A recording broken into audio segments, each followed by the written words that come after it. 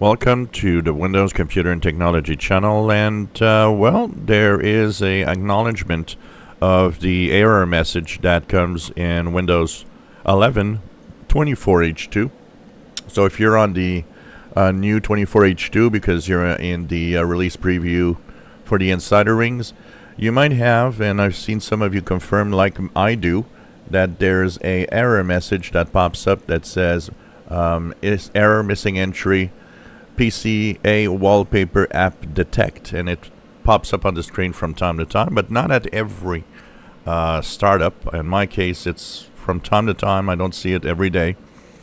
So how do you fix this error message? Well, it's a simple fix that Microsoft is for now giving a workaround.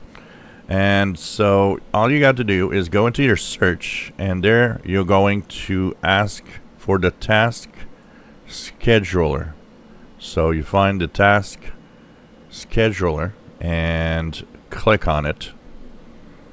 Once you're in the, the task scheduler, what you will do on the left side, you will expand task scheduler library. You will then expand Microsoft and Windows. Next, you will click on Application Experience and in the middle of your screen, you will have some tasks. So you can actually expand slightly. You see that there's a little separations at the name. You'll move to make sure that you see more of it. And you'll see something called PCA Wallpaper App Detect. Right click on it, delete it. It's going to ask you, do you want to delete the task? You say yes. And you fixed that error message for now. So this is a workaround that Microsoft is giving for this uh, scheduled task that you have and um, that is going to be okay for now. Uh, for the rest, they do say that not everybody is seeing the 24H2 in release preview. So if you're an insider on the release preview ring, you don't see it yet. It's normal.